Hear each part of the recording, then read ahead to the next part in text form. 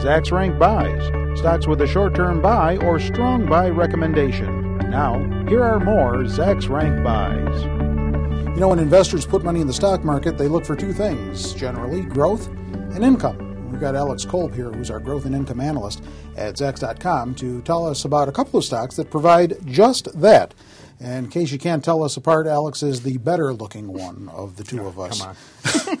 So uh, you've brought back one that we've talked about in the past, Aaron Rents. RNT is the ticker symbol. And that was the first time, last time we talked about it, was the first time that I had heard that. And so I said, Aaron Rents what? Now I know.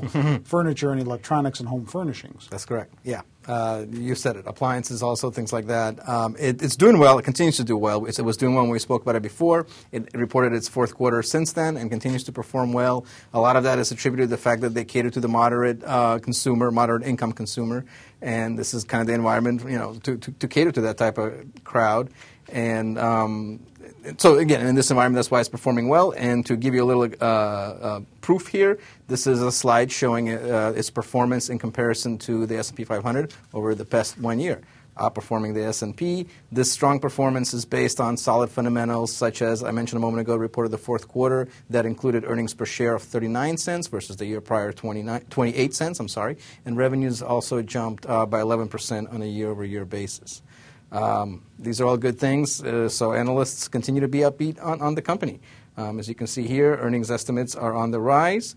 And um, also, I want to mention with this company, uh, growth and income, there is a dividend, of course. It recently uh, declared a dividend of almost 2 cents. It's, it's, on the small side. The yield translates into a, into a 0.03 yield. Um, small, but within its industry, competitive, ahead of most of its peers. Okay.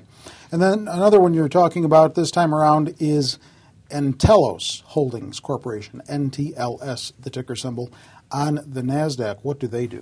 They are an integrated communications company, provide wireless communications, uh, wireless phone service. They also do landline phone service, uh, local and long distance, uh, and other uh, communication type stuff that includes like video conferencing, things like that, okay. internet related stuff. All right. Um, again, here, uh, the second slide shows the outperformance in comparison to the market.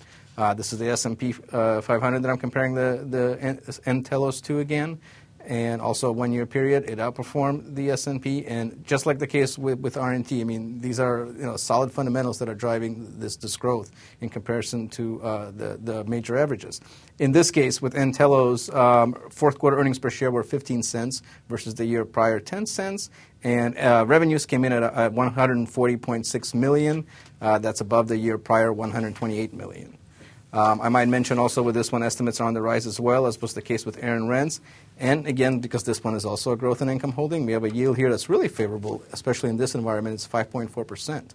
You so, might mention that, yeah. Yeah, I'd like to. I think I think everyone should know. Uh, the the 5.4 uh, translates into a quarterly dividend of 26 cents that was recently declared, um, well ahead of its industry in terms of dividend. All right. Do you own either of those two stocks? I do not. All right. Alex is a nice guy, and that's why we let him take certain liberties here on this segment. If you want to read more about some of the growth and income stocks Alex has written about lately, go to Zacks.com. And as we always tell you, over in the upper right hand corner is where all of the Zacks rank buys are listed by category.